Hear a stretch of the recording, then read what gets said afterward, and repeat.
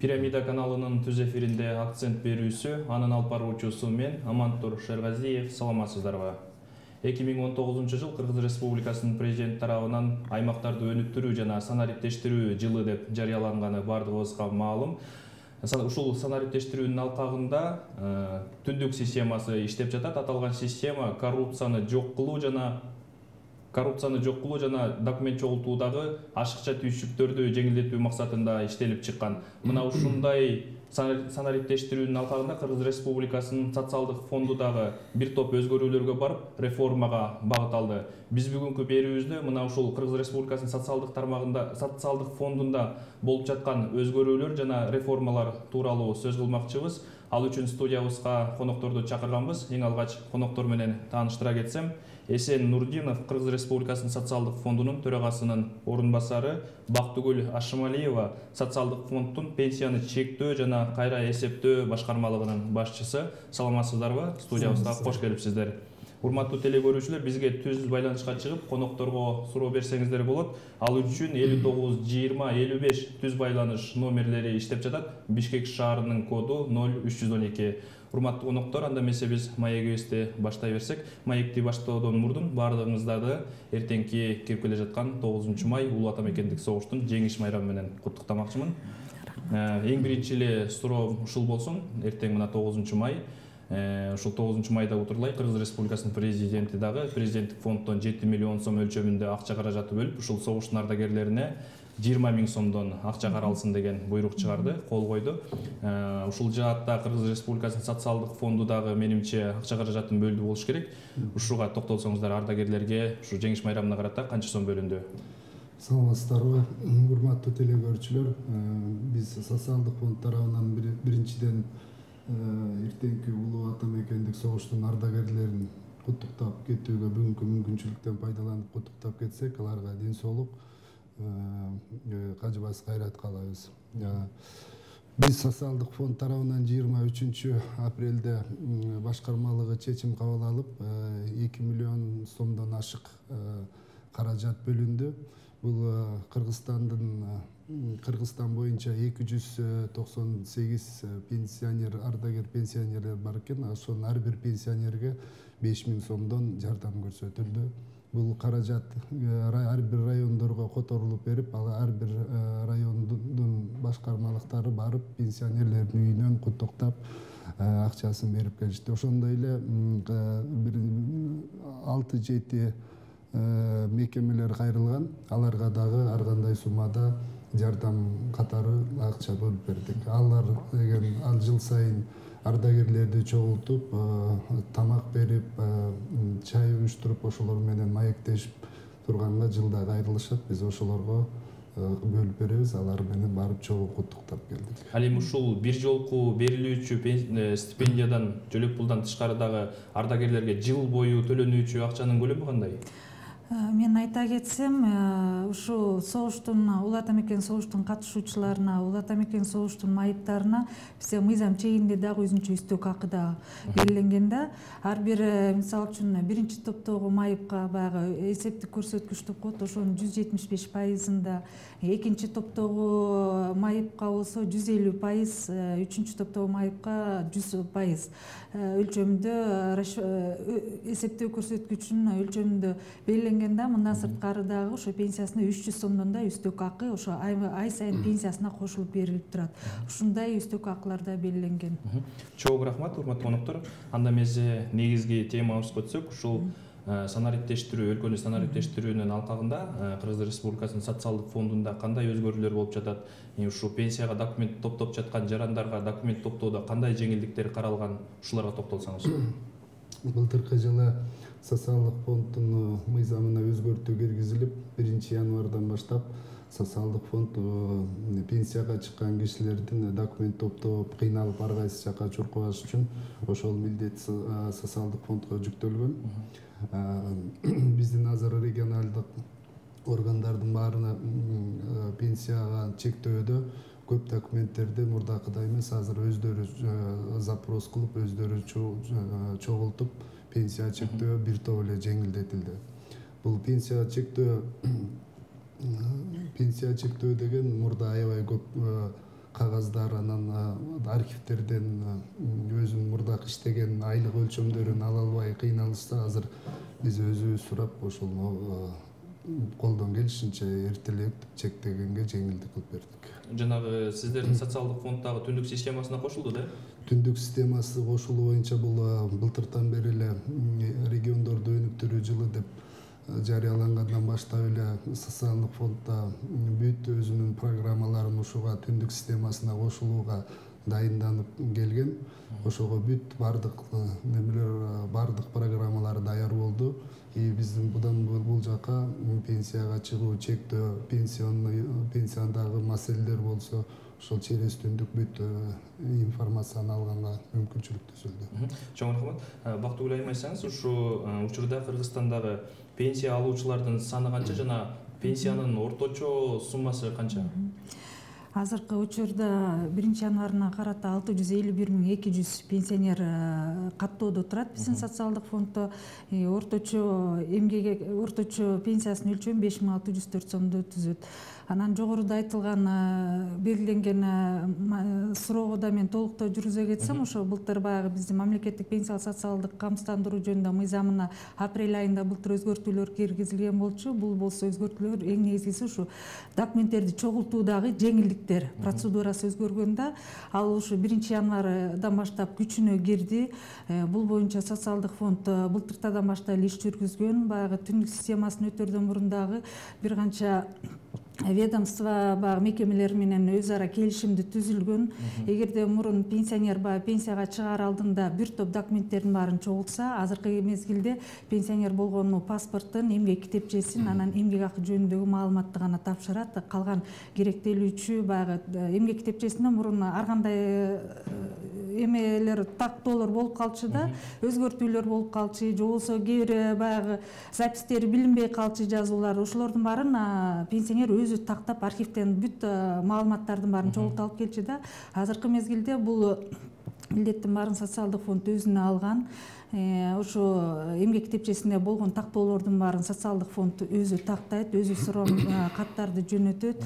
Э, ушундай алкагында биз э, баягы э, саламаттыкты сактоо министрлиги менен келишим түзүлгөн ошо маалыматтарды алмашуу максатында Э, мындан сырткары архивдик э, э, архив менен э, регламентте иштелип чыккан ошондой э, маалыматтарды алмашуу максатында э, жергиликтүү жанагы местное самоуправление деп коет экен Жергиликтүү өзүн өзү башкаруу. өзүн өзү башкаруу агенттиги менен дагы өзүнчө э, ич ара буйруктар э, түзүлгөн баягы айыл өкмөтүнөн кандай гана керектүү документтер болсо ошону баягы пенсионерди баягы жаранды жибербестен социалдык фонд өзү кабыл алат да ошолордун баарын тактайт Э, мындан сырткары э, билим министрлиги менен да келишим түзүлгөн. Азыр болсо ошо каттоо мамлекеттик каттоо кызматы менен дагы ошондой келишимдер түзүлүп атат. Э, ошо кеш- келишимдин алкагында эгерде кол коюлуп калса анда бүт баардык керектүү документтердин баарын ошо социалдык фонд өзү гана топтойт. И бул жерде э, пенсионерге жеңилдик гана болот да. Кечиресиздер бизде азыр телефон чалуу бар экен. Телефон чалууну кабыл алсак. Алло алло алло саламатсызбы Алло, саламатсызбы урматтуу көрөрман биз сизди угуп атабыз сурооңузду берсеңиз болот ага. Мен пенсия тууралуу суроо берейин дедим эле. Ооба. Э, Мен беш балам бар. Э, Пенсияга кандай чыгам? Э, Трудовой жок, трудовой а, биздики күйүткеттер, активдер жок, акы башкан. Толуктарын акы башкан, карай карай жок илгери. Мгм. Э, Анан эми беш бала менен кантип чыгам, ошону айтып койсоңуз.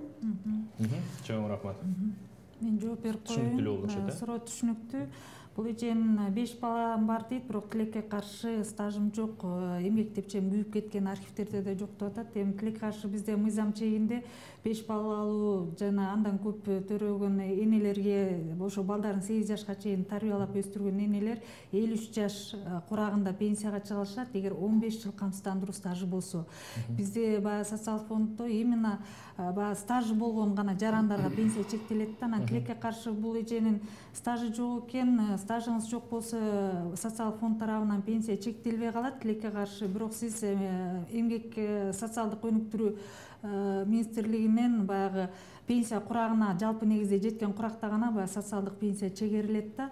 Анан эми эмгек тепчемди жоготтум деп атасыз бирок эмгек тепчеңизди жоготсоңуз дагы кайсы жерде иштесеңиз балким ошо мекемелер баягы азыр деле иштеп аткандыр же болбосо архивдеде кандайдыр бир документтер сакталып калгандыр. Бул боюнча сиз ошо жергиликтүү социалдык фондко кайрылсаңыз болот ошо кайсы жерден иштегениңизди эгер жылдарын билсеңиз жок дегенде ошо кайсы жерде ким болуп иштедиңиз эле тактап айтып берсеңиз биз ошо суроо сурам каттарды архивдерге тиешелүү баягы мамлекеттик органдарга жиберип сураштырып көрөлү эгерде ошо кандай стажыңыз такталып калса анда пенсияга чыга аласыз бирок мен жогоруда айткандай он беш жыл камсыздандыруу стажы да болуш керек да анан мындан сырткары дагы эгер жер үлүшүңүз болсо жерге төлөп жүрсөңүздөр анда ал стаж болуп да эсептелинет да анда ошо пенсияга чыкканга да укугуңуз бар. Эгерде таптакыр эле стажыңыз эсептеле жок болуп эч кандай бир документтер табылбаса анда тилекке каршы ошо эмгекке социалдык жактан өнүктүрүү министрлигине эле баягы жалпы негизде пенсия курагына жеткенде гана ошол жака кайрылсаңыз болот. Чоң рахмат. Бизде дагы бир телефон чалуу бар экен. Телефон чалууну кабыл алсак.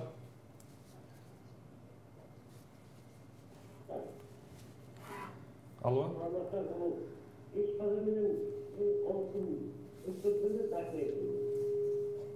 анан жыйырма жыл стажы бар анан бухгалтер болуш керек эми ошо канчасы беш миң алты жүз деп атат ал эми үч эки жагына чыгып калат эми жыйырма жыл стажы менен беш бала менен анан бухгалтер жыланын балды болуп кетип мен түшүндүрүп кетсем да түшүнүктүү баягы беш миң алты жүз төрт бул орточо пенсиянын өлчөмү болуп эсептелинет да. Ал эми сиз баягы беш бала бар жыйырма жыл стажы бар эки миң сом менен эле чыгып каласызбы деп атасыз деп атасыз эми бул жерде баягы пенсиянын өлчөмү ошо пенсиялык стажга айлык акыга жанагы анан дагы токсон алтынчы жылдан кийинки төгүлгөн камсыздандыруу төгүмдөрүнүн негизинде көз каранды болот да. Канчалык камсыздандыруу төгүмдөрү көп суммада төлөнсө соответственно пенсиянын өлчөмү да көбүрөөк болот да. Бул жерде айта кетиш керек бизде баягы мамлекеттик пенсиялык социалдык камсыздандыруу жөнүндө мыйзам негизинде пенсия бизде үч бөлүктөн турат да. Биринчи базалык бөлүгү андан кийин камсыздандыруу бөлүгү анан топтомо бөлүктөрүнөн камсыздандыруу бөлүктөрү өзүнчө баягы биринчи камсыздандыруу бөлүгү бул болсо биринчи камсыздандыруу бөлүгү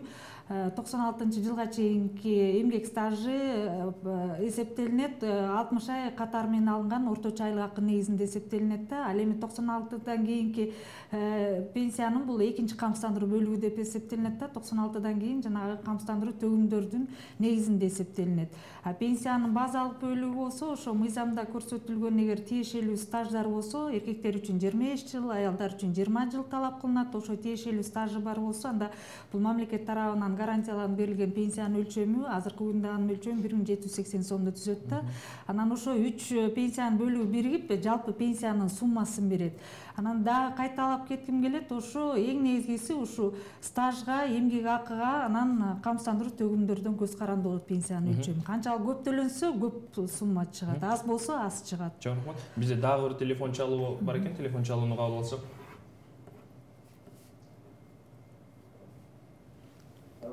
саламатсызбы биз сизди угуп атабызармтөрт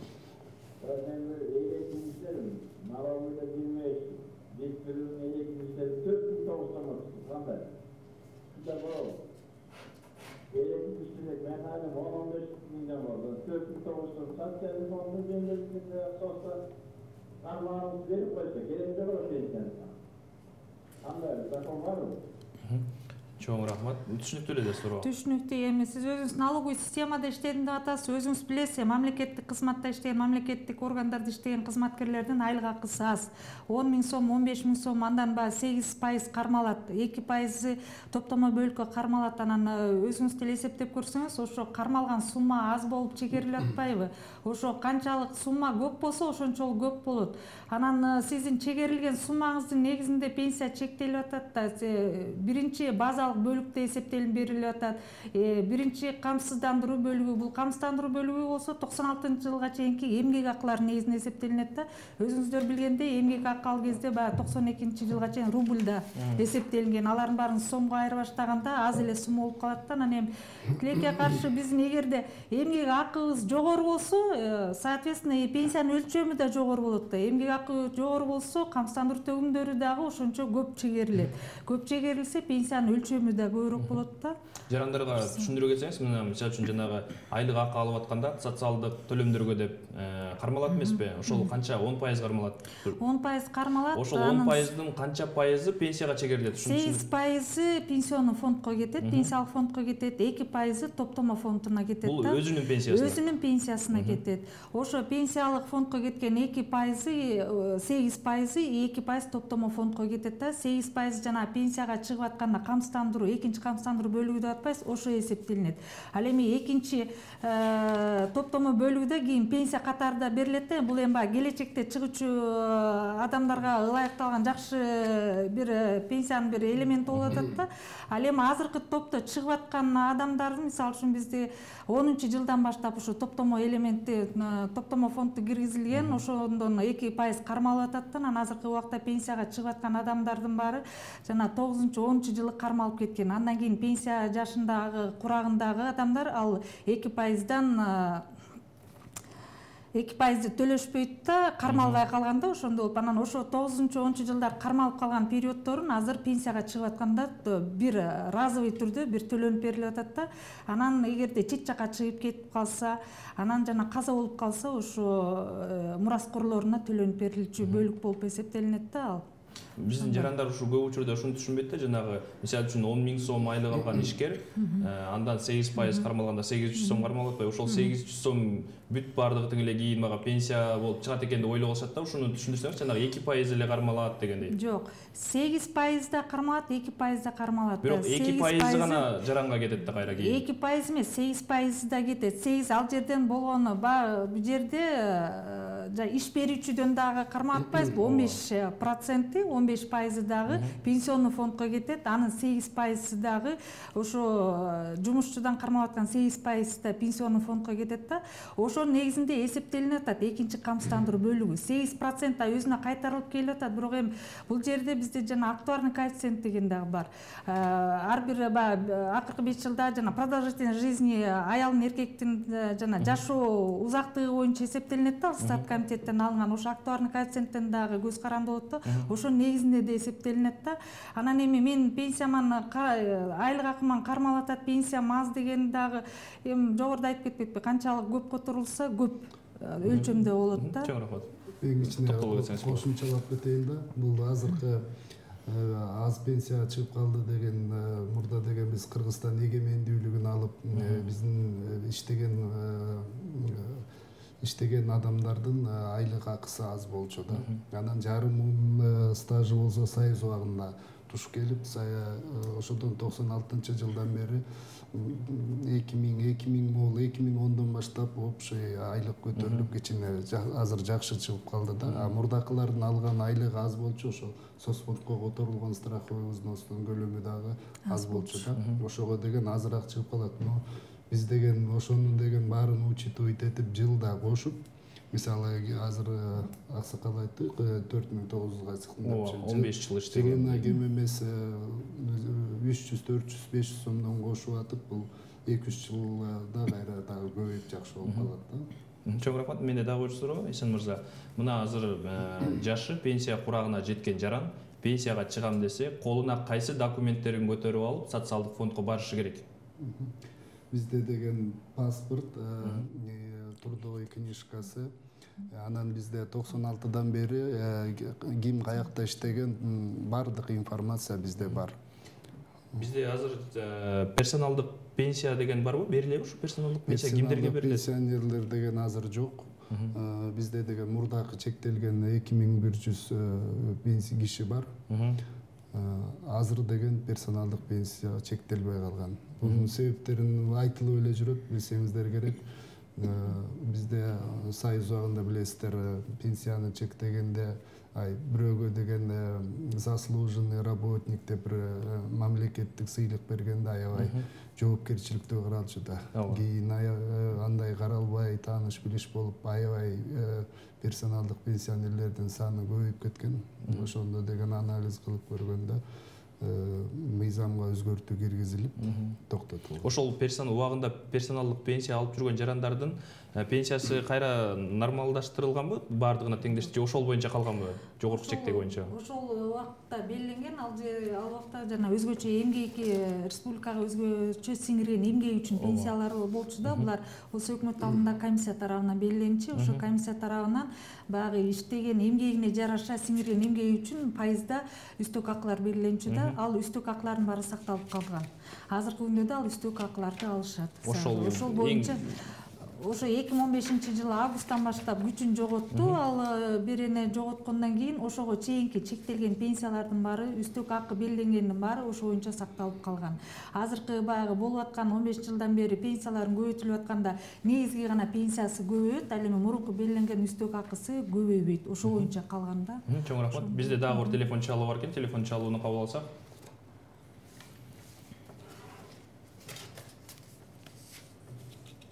алло алло саламатсызбы биз сизди угуп атабыз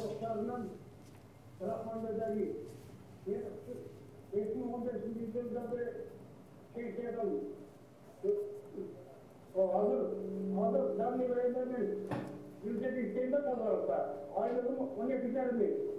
миң он бешинчи жылдан бери пенсиядан азыр азыр данный времени бюджет иштейм да тазалыкта айлыгым он эки жарым миң анан он миң тиет да анан пенсия пенсияга алдыраак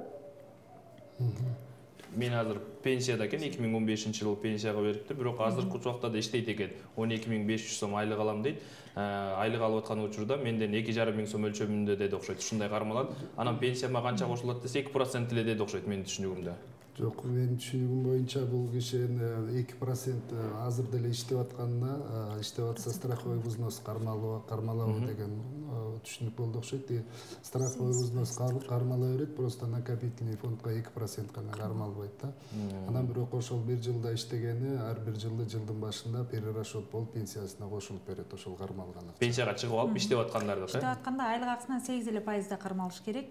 Сегиз пайызды кармалгандан кийин пенсионный фондко чегерилиш керек. Ошо чегерилген суммадан жыл сайын мыйзамда көрсөтүлгөн жылдын башында биринчи январга карата ошо пенсиянын экинчи камсыздандыруу эсептелип берилет да. Пенсиясына кошулат. пенсиясына кошулат да бир жыл бою ошону кошуп алып турат ай сайын. Э, чоң рахмат. Э, эсен мырза сизге дагы бир суроо да ушу кыргызстандын э, аймагында кыргызстандын шартында аялдарга жана эркектердин пенсияга чыгуу жашы кандай анан жана аймактык өзгөчөлүктөргө карата кандай артыкчылыктар берилет? Бийик тоолуу жана башка? Бизде кыргызстан боюнча аялдар элүү сегиз жаштан жыйырма жыл стаж керек. Эркек кишилерге алтымыш үч жаштан жыйырма беш жыл стаж керек. Анан э, бул жерде деген бийик тоолуу аймактарда жайгашкан э, отдален труднодоступный отдаленный деп коет. Ошол э, жерде жайгашкан адам ошолордун баары каралат көп балалуу адамдарга э, ошонун баары каралган да. Көп балалуу адамдарга дегенде канча баладан үйдө Бийик тоолуу шартта жашаган адамдар эркектер элүү беш жаштан пенсияга чыга алышат эгерде жалпы стаж жыйырма беш жыл болуш керек анчынан жыйырма жылы камсыздандыруу стажы ошо бийик тоолуу шартта жашап иштеш керек. Ал эми аялдар болсо элүү жаштан пенсияга чыга алат жыйырма жыл камсыздандыруу стажы болуш керек да ошо жыйырма жыл бийик тоолуу шартта жашап эмгектениш керек. Анан жана көп балалуу энелер деп айтып атпайбызбы бийик тоолуу шартта жашаган көп балалуу эне үч же андан көп бала төрөгөн энелер кырк беш жаштан пенсияга чыга алышат он беш жыл камсыздандыруу стажы болуш керек. Ошо үч баланы төрөп жана андан көп баланы төрөп сегиз жашка чейин тарбиялаш керек дагы. Он беш жыл стажы ошо бийиктүүлүү шартта жашап анан эмгектениш керек да. Анан көп эле бизде баягы келишет да бийиктүүлүү жерде иштешет же жашаган жери мындай равнинада болуп калат да. Анан мен деген стажым бар иштедим деп берет а бизде мыйзамда ошол жерде жашап иштеш керек да ошону көп биздин жарандар көп түшүнбөйт да мен бийиктүүлүү шартта иштегем эмне үчүн мен пенсияга чыга албайм деп келет бул жерде болсо эки шарт тең бирдей болуш керек. Жашап анан иштеш керек да. Анан көп балалуу энелер элүү үч жаштан пенсияга чыга алышат ошо он беш жыл э, камсыздандыруу стажы болуш керек. Беш баланы төрөп сегиз жашка чейин тарбиялаш керек. Көп учурда мисалы үчүн тоолуу аймактарда билесиздер да жумуш орундары аз анан көп көп балалуу энелердин көбү иштебейт үйдө отурат да анан ушулардын эмгек китепчеси да жок да. Булар пенсияга кандай чыгат? Кайдын? Эми жогоруда айтып кетпекпи бизде социалдык фондду именно камсыздандыруу принцибинде негизделген да ушул мамлекет пенсиялык система ошо камсыздандыруу принци- принцибинде негизделген. Ошо камсыздандыруу төгүмдү төгүш керек сөзсүз түрдө. Эгерде такыр стажы жок болсо эмгек жана социалдык өнүктүрүү министрлиги тарабынан жана социалдык пенсия деп коет пенсия курагына жеткенде жалпы негизде ошондой э, жөлөк пул чегерилет да? Ушу пенсияга чыгууда жанагы үлүш жердин салыгын да каралыпчу эле ушул жагы кандай жер үлүшү эгерде жер үлүшү бар болсо ошо жер үлүшүн милдеттүү түрдө алар да төлөш керек. Бул төлөө милдеттүү түрдө белгиленген да жер үлүшү барбы милдеттүү түрдө социалдык фондко да төлөп туруш керек. Учурда биздин жарандар ушул жанагы үлүш жерге болгон салыкты төлөбөйт дагы анан жанагы пенсияга келгенде эле ошо үлүш жердин эмеси чыгып калып баягы суммасы көп чыгып калат да ушул учурда нааразычылык жаралат да. Туура туура ошол учурда сиз айткандай туура баягы нааразычылык жаралып эле менден соцфонд деген он беш миң жыйырма миң сурап атат кийин пенсияга чыгарам деп атат деген сөздөр пайда болот да. А негизгиси жер үлүшү бар баягы жер салыгын төлөп келишкен дагы жер үлүшүн соцфондко төлөбөй жүрүшкөн да. Анан ошону баягы эсептеп ошончо жылдан бери карызын эсептеп жана штраф пенялар менен чогуу эсептегенде эле баягы чоң сумма чыгып калып атпайбы а негизи бул милдеттүү түрдө төлөнүш керек да төлөнүүчү акча милдеттүү түрдө төлөнүш керек. Ар бир ай сайын төлөгөн акча ал стаж болуп эсептелинет. Келечекте пенсия ала аласың стаж болуп эсептелинет тиешелүү стажды топтой алат. Э, пенсияга чыкканга да укугу болот да ошону биздин жарандар көп түшүнбөй атат да. Биздин жарандар мүмкүн ушу жерге болгон салык э, сумма аябай көп деген э, таризде төлөбөй жүргөндүр мүмкүн ушу жердин салыгы кандай эсептелет? Ушул тууралуу айтсаңыз мүмкүн эгер аз эле сумма болгон болсо мүмкүн жарандар кыйналбай эле төлөп коюшаттыр биздин азыркы мыйзамдар боюнча жердин бир жылы көтөрүлгөн болчу. Жердин салыгы э, бизде мисалы элүү сотик жериң болсо э, ал жерде бир жылга болгону төрт жүз сом чыгат. Ал төрт жүз сом деген ошол э, семьяда канча адам ошол үлүш жери канча адамга э, жазылган болсо ошонун баарына стаж болуп кетет да. Бул э, мамлекет жагынан колдоо иретинде да ушул э, айыл жердеги үлүш жери бар адамдар пенсияга чыгыш үчүн ушул үлүш жерине төлөгөн бул аябай пайдалуу. Гектарына канча? Бул жерден поставкам земельного налога деп коет ошол бир гектарга төрт жүз сомдон да. Э, анан ошодон карап э, э, элүү сотик бирөөнүкү он гектар болот ошол ар бир региондо өзүнүн ставкасы менен мындай алып караганда баягы аз эле сумма экен да бул. Төрт жүз сом бир жылына жарандарыбыз кыйналбай эле төлөп коюп анан пенсияга каалаган убагында барып эч кандай көйгөйсүз жанагындай чоң суммасы жок эле пенсияга чыга барса болот экен да анан эсен мырза айтсаңыз ошо кыргызстандагы эң жогорку пенсиянын э, суммасы канча жана эң төмөнкү кандай бул деген биз жана бактыгүл додурбаевна айтып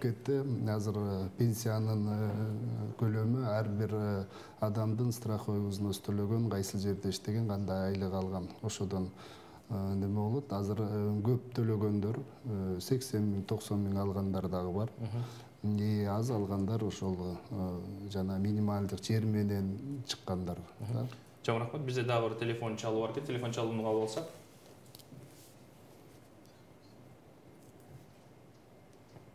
алло салатында акмайгүл аха менин кыз опекунстводо эки кызым бар эле да сиңдимин өтүп кеткен анан кийин соцфонддон акча төлөп турчу эле анан кийин чоң кызым он сегизге толуп тогуз айды бүткөнүнө байланыштуу чыкты эмнеденчи жана пенсия алгандан кийин анан кичинекейи бар азыр мектепте окуйт мурун чоң кызым чыкканда төрт миң тогуз жүз алчу элек да Мгм. акча. анан кийин азыр бирөөнө төлөп атат бир миң сегиз жүз анан кийин тоқсан неге мындай болуп калды ал эмеспи деп кайрылсам кийин көбөйгөндө биз убактылуу район несинен эле чечип тура калганда анан кийин бишкектен чечилип келет деп эле да чоң рахмат урматтуу көрөрман сурооңуз түшүнүктүү эле болду окшойт э жанагы баг- багуусунан ажыраган пенсия боюнча бул жерде баягы багуусунан ажыраган пенсия ошо багуучунун пенсиясынын өлчөмү негизинде эсептелинет да анан баланын санына жараша пайызда аныкталат ошо багуучунун пенсиясы эсептелингенден кийин эгер бир бала болсо ошо пенсиянын элүү пайызы гана чегерилет эки бала болсо токсон пайызы үч бала болсо жүз жыйырма пайызы төрт жана андан көп бала болсо жүз элүү пайыз эсептелинет да анан бул эки ба- кызын алып жүргөн экен. Э, соответственно баягы токсон пайыз алынып жүргөндө. Токсон пайыз баягы бүт кайра эсептөөлөрдүн баары ошо токсон пайыздын негизинде эсептелинип келген да. Анан эми азыр мына он сегизге толуп окубай калган экен э, мыйзам чегинде ал бир баланы кыскартып э, бир балага эле төлөнүп атат да. Ошон үчүн э, баягы алып жүргөн пенсиянын элүү пайызы эле болуп калат да. Элүү пайызы эсептелип калат. жанагы окууну бүткөн кызы жогорку окуу жайга эгер тапшырган жогорку болсочу окуу жайга тапшырып күндүзгү бөлүмдө окуса анда ошо маалым катты алып келиш керек окуганды тууралуу. Ошонун негизинде кайра пенсиясы төлөнүп берилет. Кайра эки балага эсептелинет чоң рахмат урматтуу көрөрман. Түшүнүктүү болду окшойт. Эгерде окууну бүткөн кызыңыз жогорку окуу жайда окуп жаткан болсо окуп жаткандыгы тууралуу маалым катты аймактык социалдык бөлүмгө алып барып берсе кайра жандандырып не беришет только жогорку окуу жайын эмес жана училищада окуп калса же болбосо техникумдарда окуп калса бирок күндүзгү бөлүмдө окуш керек да. Эгер күндүзгү бөлүмдө окуса анда жыйырма үч жашка чейин төлөнүп берилет. Чоң рахмат. Бизде дагы бир телефондук чалуу бар экен телефон чалууну кабыл алсак. Алло. Алло саламатсызбы? Биз сизди угуп атабыз Бақсы білен айтып қой, тоқсан социальный фондың сегіз процент төлейді. Мгм. Қалып айтады. Бақсы білен айтып қой, социальный фондың сегіз процент төлейді, қалған пенсия төлейді. Қалып қалып айтады. Біздер отыз үш процентке сайып кетті, аны жиырма тоғыз процент қалған. Қалған ақша сайып кетеді. Бұл жерде социальный фонд алдамшылар бұл. Мен электр болған төрт мың тоғыз жүз сомон. Тәгетті. Аха, урматтуу көрөрман сурооңуз түшүнүктүү чоң рахмат түшүнүктүү түшүндүрүп кетейин бул Пенсиядан жолда 29 пайыз деди окшойт бул. жыйырма өзү м, страховой взностун тарифи жыйырма жети жыйырма беш пайыз. Анан жумуш берүүчү анан жумушчудан кармалат да он жети процент он жети ноль жыйырма беш жумуш берүүчү төлөйт а бактыгүл долларунун айтып аткан он процент ал ошол работник да жумуш жумушчу төлөйт ошону туура эмес түшүнүп алдым бактыгүл эми сиз эмне дейт анан мындан сырткары деген жалгыз эле пенсионный фондко кармалбайт да айлык акысынан налогко да кармалат туурабы налогко дагы он процент тегерегинде кармайт болуш керек. Анан эгерде профсоюзга мүчө болсо профсоюзга да кармалат да ошо айлык акысынан жалгыз эле пенсионный фондко жыйырма тогуз пайызы зарплатасынан кармалган жок да эгер ишенбесе ошо өзүнүн бухгалтерине барып тактаса да болот менин айлык акыман соцфондко канча процент кармап атасың түшүндүрүп бер деп. Эгерде ошондой эле соцфондко жыйырма тогуз процент кармалып атат десе анда биздин соцфондко келсин биз териштирели эмне үчүн жыйырма тогуз? Андай болушу мүмкүн эмес. Негизи ушу э, биздин жарандар э, ушу сиздерге кайрылып өздөрүнүн жанагы кармалып жаткан төлөмдөрү тууралуу маалымат алса болобу? Эсебинде канча акчасы маалымат бар? алса болот. Жыл сайын э, бизде өзүнчө жеке эсеп башкармалыгы бар. Жеке эсеп башкарма- башкармалыгы жыл сайын ошо жеке эсеп бетиндеги көчүрмөлөрдү берип турат таратып турат эгерде ошону менен таанышам десе өзүнүн паспорту менен келип кайрылса болот биздин ар бир аймактык э, социалдык фонддорубузда бар. Ошо жеке бети эсебиндеги информациялардын баары бар. Паспорту менен барып кайрылса ошонун көчүрмөсүн чыгарып берет. Эч кандай тоскоолдуксуз. тоскоолдук жок. Ошонун көчүрмө негизинде канча зарплата төлөнүп жүргөн канчасы кармалып жүргөн баардыгы ал жерде жазылган. Ошондой толук маалымат ала алса болот. Чоң рахмат. Бизде дагы бир телефон чал телефон чалуу бар экен. Кабыл алсак.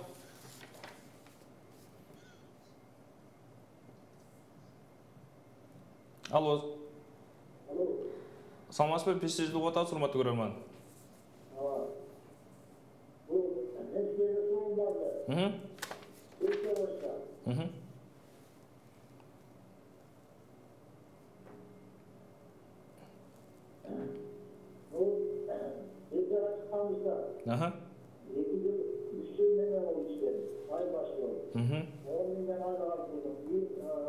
Одан жүрдім отыз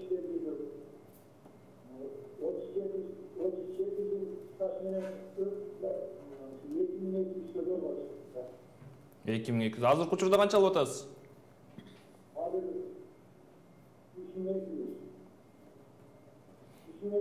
Канча болду чыкканыңызга? Үч жыл болду он жетінші жыл он жетинчи жылы дейт Аха, эки жыл болуптур суроо түшүнүктүү эле болду го дейм суроо түшүнүктүү болду эми сиз айыл башчы болуп иштептирсиз эми айыл башчы айыл өкмөтү иштегендердин айлык акысы деле төмөн он миң сом алып он миң сом алып жүрүт анан он миң сомдон сосонко чегерилгени сегиз пайыз ал деле аз эле болот да бирок ага чейин отуз жети жылдык отуз стажым бар жети деп жыл стажы бар болгону менен бул жерде жогоруда айтып кетпедикпи токсон алтынчы жылга чейинки эмгек акы дагы көп зор ролду ойнойт да эгер токсон алтынчы жылга чейинки эмгек акысы болуп ошонун эмгек акысы жогору болсо ал дагы бир ошонусу дагы бир чоң роль ойнойт да. Анан эгерде эмгек акысы аз болсо э, соответственно ал э, ошо биринчи камсыздандыруу бөлүгү дагы пенсияныкы аз болуп калат да. Анан жана пенсиянын базалык бөлүгү э, отуз жети жыл деп атат бир миң жети жүз сексен чегерилсе керек. Анан биринчи камсыздандыруу бөлүгү дагы аз эле суммада чыкса керек. Анткени токсон алтынчы жылга чейин ошо айылда колхоздордо иштесе аякта айлык акылар аз эле рубль кезинде эле э, иштеген болот да. Андан кийин көбүнчөсү баягы чарбаларга тарап кетпедиби а чарбалардын акчасы өзүңүздөр билесиздер ал кезде аз эле болчу. Андан кийинкисинин баары баягы токсон алтынчы жылдан кийин баягы жер үлүшү менен кетсе керек жер үлүшү мына жогоруда эсен сатыбалдиевич айтып кетти баягы төрт жүз сом деп атат ал төрт жүз сом деген эмне деген акча болот? Аз өлчөмдө болуп атпайбы ошондуктан э, токсон алтыдан кийин канчалык көп э, салым кошсо ошо пенсиялык өзүнүн бул эми өзүнүн келечекте пенсиясы да болуп атпайбы ошо канчалык көбүрөөк төлөсө көбүрөөк кошулмак да. Анан эми эки жылда мына миң сом кошулуптур биз ага карабай ошо баягы өзүбүздүн э, пенсиялык фонддун ошо бюджетине жараша жыл сайын пенсияны көбөйтүп келатабыз да аз да болсо көбөйтүп келатабыз анан эми э, буюрса да быйыл да көбөйтөбүз деген э, максат иштер бар. Ал боюнча иштер жүргүзүлүп жатат. Эми камсыздандыруу төгүмдөрүн да төгүп туруш керек. Мындан бир канча жума мурда дагы өлкө башчысы ушу мугалимдердин жана дарыгерлердин пенсиясы жогорулат. Негизи эле пенсия жогорулайт деп айтты окшойт да. Ушу кайсыл айларда Ну, биз көбүнчө жылда октябрь айларында э, эсептеп келатабыз анткени биз ошо ж- июль айларына уже орточо эмгек акынын э, суммасы да белгилүү болуп калат ошо жанагы баалардын өсүшү дагы ошого жараша болуп көбөйтүп атпайбызбы азырчы ошол кездерде такталып калат да суммалар. И ошого жараша да биздин баягы бюджеттин дагы канчалык э, деңгээлге ошо көтөрө алабыз ошонун баягы расчеттордун баары жүргүзүлөт да даярдоо иштери жүргүзүлөт и жылда эле ушу октябрь айында көбөйтүп келатабыз да анан эми быйыл дагы ушу күздө көбөйтөбүз деген дагы тилек ой максат бар кыргызстандагы э, жашоо минимумунун өлчөмү канча дагы? Эң минималдуу айлык жана эң максималдуу эң минималдуу пенсия кандай? Ушу ортодо айырма чоң эмеспи? Жашоо минимумун айтсаң сен биринчи. Жашоо минимуму бүгүн э, кыргызстан боюнча төрт миң эки жүз сексен үч сом. эң жогорку төмөнкү айлык? э, эң төмөнкү айлык бир миң жети жүз элүү сом. Да толуктап койсоң Анан- жашоо минимуму төрт миң эки жүз сом болсо анан бир миң тогуз жүз сом жети жүз сом айлык алган киши кантип жашайт төрт миң эки жүз сексен үч бул пенсионердин жашоо минимуму да төрт миң эки жүз сексен үч былтыркы жылдан эки миң он жетинчи жылдан баштап биз именно баягы биринчи топтогу майыптардын пенсиясын ушу жашоо минимумуна келтирип атабыз да биринчи топтогу майыптардын көбүнчөсү баягы стаждары да аз болот зарплаталары да аз. Өзүңүздөр билесиздер эми ал жумушка жарамсыз адамдар да анан ошолордун биринчи топтогу майыптардын пенсиясын ошо жашоо минимумуна теңегенбиз фактически баягы эсептегенде пенсиясы эки миң бир жарым миң үч миң сом эле болуп калат. Бирок биз ошо жашоо минимум ошол э, чектелген күндө канча болсо ошону коюп берип атабыз да быйыл мына төрт миң эки жүз сексен үч болуп атат анан жана минималдык эмгек акы бир миң жети жүз элүү сом деп атпайбызбы бул минималдык эмгек акы пенсиянын өлчөмүн эсептегенде гана эсепке алынат да. Бирок минималдык эмгек акын бир миң жети жүз элүү сомдон эсептелинбейт. Эки миң он жетинчи жылы май айында ошо э, мыйзамга да өзгөртүү киргизилген да бул да болсо пенсионерлердин баягы жакшы шарт түзүп берүү максатында киргизилген да мурун э, минималдык э, пенсияны эсептегенде айлык акылары жок болсо же болбосо минималдык эмгек акыдан төмөн болуп калса минималдык эмгек акынын баягы твердый суммасын эле эсептеп алчубуз да эки миң он жетинчи жылдан бери эме киргиздик эгерде токсон алтынчы жылга чейин камсыздандыруу стажы он беш жыл болсо минималдык эмгек акынын ошол кезде белгиленген минималдык эмгек акынын эки жүз пайызы эсепке алынат эгерде он беш жылдан жыйырма жылга чейин болсо токсон алтынчы жылга чейинки стажы анда минималдык эмгек акынын эки жүз элүү пайызы эсепке алынат. А эгерде жыйырма жылдан жогору болсо токсон алтынчы жылга чейинки камсыздандыруу стажы анда минималдык эмгек акынын үч жүз пайызы эсепке алынат да. Мындайча айтканда баягы эки жүз процент үч жарым миң сомдон эсептеп алатабыз ал эми эки жүз элүү болсо төрт миң үч жүз жетимиш беш сомдон а үч жүз пайыз болсо беш миң эки жүз элүү сомдун негизинде эсептелинет да. Бул болсо баягы адамдардагы айлык акы жөнүндө маалыматты алып келет да. Алып келип эсептегенде көбүнчө бизге азыр мына сексен пайыз эле ушу минималдык эмгек акы пайдалуу болгондуктан ошонун негизинде эсептелинип атат да анткени эмгек акын алып келет токсон алтынчы жылга чейин. Аларды эсептегенде ошо белгиленген эмгек акынын пайызда белгиленген эмгек акыдан төмөн болуп калып атат да анан көбүнчө адамдардын баары эле ошо минималдык эмгек акыга макул болушуп анткени ал пайдалуураак пенсиясы көбүрөөк болуп калып атат да өзүнүн эмгек акысынан ушундай жакшы шарттарда киргизилген да мыйзамга чоң рахмат. Эсен мырза айтсаңыз э, бизде мына бүгүнкү күндө базар экономикасы деп көп иш берүүчүлөр салыктан качып жанагындай эки бухгалтерия жүргүзүп э, айлыкты азайтып берип колунда башка берип жүрөт да. Анан көбүнчөсү биздин жарандардын көбү да базарларда эмгектенет көбүнчөсүнүн эмгек китепчеси жок. Ушулар кийин пенсияга чыкканда кантишет жанагы эки бухгалтерияда иштегендерди өзүнчө көмүскө экономика деп э. Ушулар жарандарга түшүндүрө кетсеңиз ушулар кийин пенсияга чыкканда кыйналып калат дегендей таризде бизде мыйзамдын страховой взностун тарифтери боюнча мыйзамда э, базарларда иштегендердин өзүнүн тарифи бар. Контейнерде базарда торговый точкаларда э, юридикалык жана жеке иштер боюнча э, тарифтерге карап төлөш керек. Анан если эч жерде иштебей калса ал э, өзүнчө төлөсө дагы болот. Соцфондко келип сегиз пайыз орточо айлыктын сегиз пайызынан. э, төлөп турса болот пенсияга чыгыш үчүн. жумушу жок болгондор деле жумушу жок болгондо же болбосо пенсияга чыгып атып стажы жетпей калса э, ошол орточо айлыктын сегиз процентин келип төлөп турса ага стаж болуп эсептелет а жанагы көп иш берүүчүлөр жана салыктан качып жарандарга аз айлык берип коюп документ түрүндө башка ал эми колунда башка айлык берип жүрбөйбү ушул жумушчулар ушуга ыраазы болуп эле жүрөт да бул кийин пенсияга чыкканда булар кыйналат да? Э албетте таасирин берет албетте таасирин берет таасирин берет анан бул боюнча соцфондко кайрылып убагында арыз менен кайрылып биз ошол организацияларды барып текшерчүбүз. Азыр бул э, биринчи январдан баштап э, м, страховой взносто чогултуу налоговыйга өткөрүлүп берди. Эми ал ошол жак менен дагы бул иш кылыш керек да. Көмүскө экономикадан чыгаруу боюнча иш чараларды жүргүзсө ошондо биздин э, граждандар укугу тебеленбеш керек негизи жумушчу өзүнүн айлык акысы тууралуу маалыматы болуш керек да сөзсүз түрдө болуш керек. Э, жанагы биздин эми жарандар э, си- сиз айткандай баягы эки бухгалтерия жүргүзүп мындай алганы баягы күнүмдүк алган акчага эле кызыктар болуп атышпайбы? Эгерде келечегин ойлосо ошол убакта жумуш берүүчүдөн да талап кылыш керек да. Талап кылганга толук укугу бар да. укугу бар толук укугу бар. Мен соцфондко канча пайызда төгүп атасың мага толук бул айлык акымды белгилеп атасың анда толук төлөп бер деп баягы ар бир жумушчу эми конфликтке баргысы келбейт жумушун э, жоготкусу келбейт. Ошон үчүн баягы эки бухгалтериядан эки алганга алар макул болуп жүрүшөт да. А бирок келечекте ошо официалдуу түрдүү аз өлчөмдө көрсөткөн пенсиясы айлык акысы гана эсепке алынат да. Пенсиясынын өлчөмү аз болуп калат.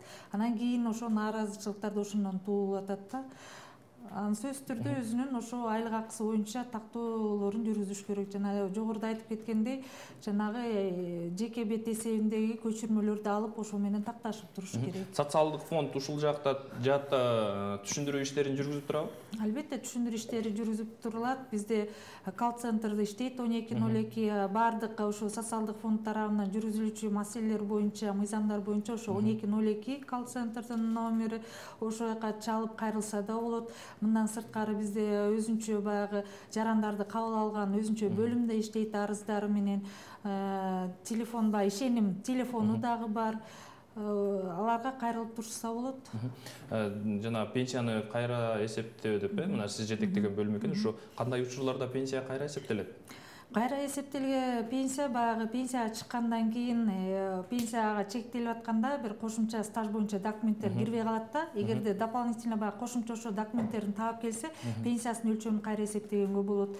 Э, сексен жашка толгон адамдардыкы баягы үстөк акы белгиленген ошо сексен жашка толгондун кийинки айынан баштап үстөк акы белгиленет. Мындан сырткары он жетинчи жылдан бери дагы мыйзамга дагы жакшы өзгөртүү киргизилген мурун эгерде эмгек акы боюнча пенсия чектелип эсептелип андан кийин анын башка периоддогу башка мезгилде эмгек акыларын алып келсе аны эсептегенге мыйзамда укук жок болчу да жол берилген эмес он жетинчи жылдан бери ошондой дагы шарт киргизилди ошо он жетинчи жылдан баштап күчүнө кирди да май айынан баштап күчүнө кирди. Ошо э, май айынан чектелген пенсиялар үч жылдын ичинде эгерде ошо э, башка период башка мезгилдеги эмгек акы жөнүндө маалыматты таап калса алып келип берсе пенсиясынын өлчөмүн кайра эсептегенге укуктары бар да. Ошондой дагы дагы бир шарт киргизилген. Ошо эң негизгиси ошо кайра эсептөөлөр ошолор. Анан э, жылда биз биринчи январга карата пенсиянын экинчи камсыздандыруу бөлүгүн эсептеп келатабыз бул камсыздандыруу төгүмдөрүнүн негизинде жыл сайын баягы иштеп э, камсыздандыруу төгүмдөрүн төгүп жүргөн жарандарга биринчи январга камсыздандыруу э, экинчи камсыздандыруу бөлүгү пенсиясы кайра эсептелинет да. Анан бул боюнча дагы айтыш керек. Биз буга чейин баягы арызын алып келип анан ошо жылдык билдирүү деп койчубуз. Ошону алып келмейинче пенсия эсептелчү эмес да. Мына эки жылдан бери биз ишке ашырып келатабыз ошо эки жылдан бери баягы автоматтык түрдө базада биздин социалдык фонддун базасында кандай маалымат бар болсо ошонун негизинде пенсияны кайра эсептеп кетет да. Эми бул жерде айта кетиш керек кичине действительно кармалып калып атат да баягы убагында албай атабыз деп нааразычылыктар туулушу мүмкүн. А, анткени баягы декабрь айынын айлыгы январь айында түшөт. Январь айында түшөт. Ал сөзсүз түрдө иштетилиш керек такталыш керек. Ошентип атып баягы убактысы кичине кармалып калат да бирок убактысы кармалганы менен баягы биринчи январдан баштап төлөнүп берилет да. Ошонун баардык болгон айырмасынын баары толук пенсиясы менен төлөнүп берилет. Чоң рахмат. Бизде телефон чалуу бар экен. Алло. Алло саламатсызбы урматтуу көрөрман биз сизди угуп атабыз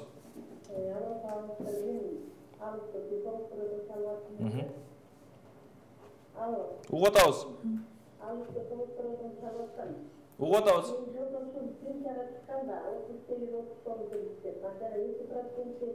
онунчу он биринчи жылы төлөнөт деген закон чыккан турбайбы ошого ылайыктуу эки айлык акысы иштетсе соң бизде иштетин болчу анда ошо эки процентин эсептегенде он эки миң алып калды ошо туурабы эле туура эле чыккан да эми ал өзүңүз айткандай эки эле жылга болуп атпайбы эгерде күмөн санасаңыз ошо социалдык фондко барып кайрылсаңыз болот. Өзүңүн жеке бет эсебинде канча акча чегерилген ошонун эки проценти канчаны түзгөн аны кандай болуп эсептелгени жөнүндө баарын түшүндүрүп беришет. Чоң рахмат. Эзем эсен мырза э, массалык маалымат каражаттарында э, мына интернет сайттарда жазылып жүрөт да ушу кыргызстандагы жашоо жашоо узактыгы узаргандыгына байланыштуу пенсия курагы дагы жогорулайт деген маалыматтар чыгып жүрөт. Бул канчалык деңгээлде чындыкка жакын? Бул чын чындыкка жатпайт. Жакынкы арада пенси- пенсионный возрастты көтөргөн боюнча эч кандай маселе болгон эмес боло элек ушул боюнча эле калат ушул боюнча азырынча калат эч кандай өзгөрүү пока болбойт. Менин билишимче азыркы учурда ушу социалдык фонд тууралуу мыйзам жогорку кеңеште э, кароодо болуш керек э коомдук талкууга коюлган болуш керек. Э, ушул эгер мыйзам боюнча ушу жаңы талкууда турган мыйзам боюнча кандай өзгөртүүлөр кирет социалдык фондко? Бул жерде э, бул жерде депутаттардан ар кандай маселелер көтөрүлүп атат азыр ал толук э, талкууда эле болуп атат ал биринчи окууга дагы кире элек но жакында биз э, аны менен таанышып окуп анан өзүбүзчө ал мыйзам боюнча э, жарандарга кандай жеңилдиктер каралган? Э, сиздерде маалымат жа бул жагында бул көбүнчө жанагы налоговыйга өткөрүп берүү боюнча гана. Уполномоченный орган деп жазылган боюнча гана каралып атат тарифтер боюнча жана пенсионный возрасттар боюнча киргизген эмеспиз чоң рахмат. Э, бактыгүл айып сизге суроодон мына э, жанагы жогоруда көрөрманыбыз да суроо бербедиби жана багуучусунан ажырагандыгы тууралуучу ушу багуучусунан ажырагандар э, кандай документтерди топтош керек? Кайсыл жака кайрылат? Багуусунан ажыраган боюнча пенсия чектөөдө сөзсүз түрдө баягы пенсия алуучу баягы э, балдарына пенсия чегерилет да. Эң негизгиси ошо багуучунун каза болуп калган адамдын эмгек китепчесин тапшырыш керек. Эмгек китепчеси анан айлык акы жөнүндө маалымат тапшырыш керек. Балдардын күбөлүгүн эгерде окуган болсо маалымат окугандыгы тууралуу балдардын күбөлүгү ошолор эле жетиштүү да анан баягы кээде эме болуп калат баягы эки багуучу тең каза болуп калат. Каза болуп калганда сөзсүз түрдө жанагы опекун камкорчу жөнүндө э, чечим болуш керек да. Ошо чечимсиз э, эч кандай пенсия чегерилбейт да сөзсүз ошо чечим болуш керек. Аз камсыз болгон үй бүлөлөр да ошо социалдык фонд аркылуу пособие алышат э жөлөк камсыз жок аз камсыз болгон үй бүлөлөр бул жөлөк пул бизге карабайт. Ал эмгек жана социалдык өнүктүрүү министрлиги тарабынан чегерилет. Ошол министрликте каралат жанагы бизде союз убагында эмгектенген адамдар көп учурда ушу аз төмөнкү айлык менен пенсияга чыгып калып жатышат да көбү союз убагында чабан болгон саанчы болгон дегендей да ушунун себеби эмнеде булар эми мына өзүңүздөр айткандай эле бул союздун убагында союздун убагында бүт баары айлык баары рубль менен болчу анан баягы жана сомго өткөндө сөзсүз түрдө аны биз рубль менен алынган эмгек акылардын баарын сомго айландырабыз бирок сомго айландыргандан кийин дагы баягы ошо азыркы деңгээлге алып келебиз да өзүнчө поправочный түзөтүү коэффициенттер деген да бар. Ошо азыркы деңгээлге алып келип ошо түзөтүү коэффициенттерин колдонуп эсептейбиз да анан эми союз кезиндеги э, иштеген эмгек акылар сөзсүз түрдө ошо Ошо эсептелеби негизи эле? эсептелинет эмгек акы эсептелинет орточо айлык акы эсептелинет. Бирок жана жогоруда айтылгандай минималдык эмгек акынын пайыздан төмөн болуп калса анда автоматический түрдө баягы пайызда аныкталган минималдык эмгек акы эсепке алынат да. Анткени ошо э, пенсионерге пайдалуураак болуп атат чем өзүнүн айлык акысынан караганда. Биз баардык жагын карайбыз биз өзү эле каалагандай кылып чектей бербейбиз. Сөзсүз түрдө ошо пенсионерге кайсы айлык акыдан пайдалуураак ошо пенсиясынын өлчөмү минималдык эмгек акыданбы же өзүнүн айлык акысынанбы эгерде өзүнүн айлык акысы пайдалуу болсо жогору болсо сөзсүз түрдө ошо өзүнүн эмгек акысынын негизинде эсептелинет а эгерде ал төмөн болуп калса анда минималдык эмгек акынын пайызы аныкталат да.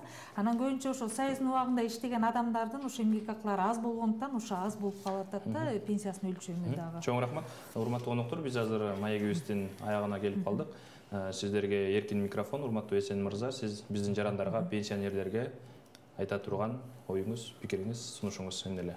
Биз э, социалдык фонд тарабынан жана бактыгүл долгорунун айткандай алты жүз элүү жети миң пенсионер бар. Э, бир айда төлөнүүчү сумма үч миллиард сегиз жүзгө чейин болот. Э, биз э, канчалык көп топтосок ошончолук э, пенсиянын көлөмүн э, көбөйткөнгө кызыктарбыз да ошон үчүн э, бизди дагы пенсионерлер туура түшүнүш керек. Ошо соцфонд колунан келген аракетин жасап атышат. Анан баардык э, м, кыргызстандыктарды эртеңки э, улуу жеңиш майрамы менен куттуктайбыз. Кыргызстанга тынчылык элдерге ден соолук каалайбыз бактылуу элем сиздин кайрылууңуз мен кайрылуум эми ар бир жаран баягы келечегин ойлонуш керек. Азыртадан баштап ойлонуш керек келечегин. Келечекте ошо пенсия кандай өлчөмдө алып калам кандай болот деп. Анан ошо чегерүүлөрдүн баарын ошо максаттуу түрдө ошо пенсиям келечекте пенсиям жогору болсун деп ойлосо ошо максаттуу түрдө чегерсе дейм да ошо. Анан ары эртеңки жогоруда айтылып кеткен куттуктоо каалоо тилектерге дагы кошулат элем эртеңки майрамыңыздар кут болсун. Ошо биздинге ушундай тынчтыкты жашоону алып келген ошо биздин улуу аталарыбызга ден соолук э, майрамы кут болсун ар дайым биз менен болсун дегендей ошо анан өлкөбүздө тынчтык болсун эң негизгиси тынчтык болсун. Чоң рахмат урматтуу коноктор биздин студиябызга келип маек куруп бергениңиздер үчүн терең ыраазычылык билдирмекчибиз. Урматтуу көрөрмандар ушуну менен биздин маегибиз аягына келип жетти. Биз бүгүн кыргыз республикасынын социалдык фондунда болуп жаткан өзгөрүүлөр жана реформалар тууралуу сөз кылдык биздин берүүлөрүбүздү пирамида каналынын социалдык тармактардагы расмий баракчаларынан жана ютубтагы каналыбыздан көрсөңүздөр болот баардыгыңыздарды эртеңки тогузунчу май жеңиш майрамыңыздар менен куттуктайбыз кийинки эфирден амандашканча сак саламатта туруңуздар